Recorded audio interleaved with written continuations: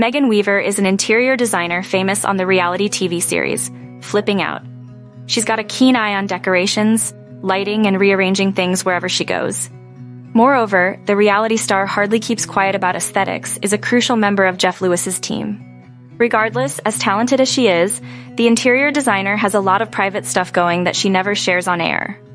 As a result, we have taken the mandate of compiling details on Megan Weaver's net worth. Table of Contents Toggle Megan Weaver from Flipping Out Wikipedia bio.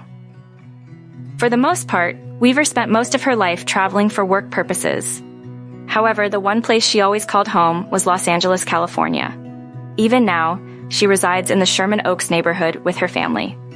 The interior designer was born to her mother Nikki and her father, unknown. Growing up as a young girl, Megan Weaver learned everything she could from her current 79 year old mom and put it into practice.